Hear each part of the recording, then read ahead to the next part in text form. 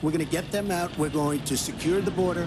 And once the border is secured, at a later date, we'll make a determination as to the rest. But we have some bad hombres here, and we're going to get them out. Uh, so, as being a non American citizen who works in the United States, I'm clearly very interested in immigration policy uh, because immigration policy also impacts me. It impacts people who are uh, less educated who, who want to work in the United States, but it also impacts people who are highly educated who come to work here. Syria. Take a look at the migration. Take a look at Libya. Take a look at Iraq. She gave us ISIS. I think it's a charade, it's just a debacle of politics, and I don't really. It's like Saturday Night Live without actually watching Saturday Night Live. I'm not voting. I, I should, but I'm not.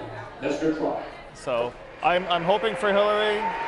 She clearly looks like a president, but I just traveled the world literally the past seven months, and everyone's like, why? It's, it's pretty pathetic that it's come to this. So. I didn't even apologize to my wife, who's sitting right here, because I didn't do anything.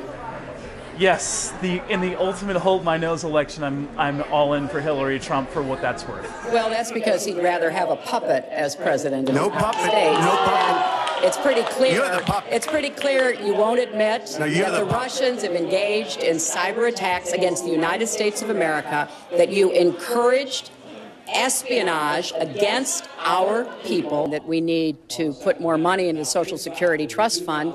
That's part of uh, my commitment to raise taxes on the wealthy. My Social Security payroll contribution will go up, as will Donald's, assuming he can't figure out how to get out of it. Uh, but what we want to do is to replenish the Social Such a Security nasty Trust woman. Fund.